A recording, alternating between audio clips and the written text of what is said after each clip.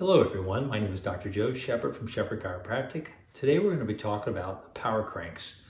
Power cranks are used in cycling where you substitute the crank system that you have on it and put the PowerCranks on.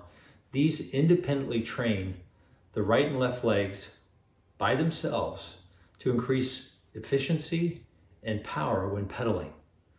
This creates a new dynamic in the core system in the hip flexors improving strength, endurance, and performance. Some of the key features of the PowerCranks include that they train different muscle groups at multiple regions, including the hip, core, pelvis, and lower extremities.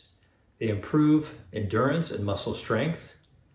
They increase the cycling and running speed. They reduce the possibility for injury by preventing stress on the joints. They also increase flexibility, coordination, and balance in the core system.